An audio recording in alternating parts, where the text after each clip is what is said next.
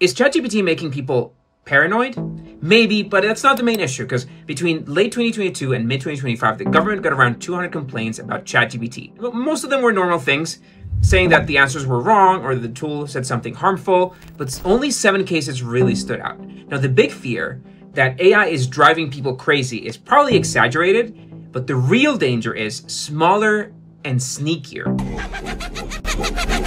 And that is that chatbots tend to agree too much. This polite, supportive tone can accidentally make someone's false beliefs more real.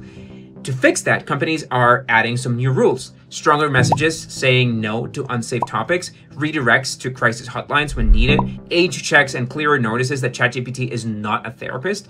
And the FTC might soon release official rules about this. Now, these groups are watching, they're watching closely. Lawyers think about the liability and warning issues. Companies are asking for proof that chatbots are safe. Insurers are even factoring mental health risks into coverage. So the solutions being tested include running psych tests on AI models. They're hmm. adding step by step refuses instead of just blunt denials and logging moments when a human should be taking over the, that conversation. Now, seven serious cases out of 200 complaints is not many, but it's enough to matter.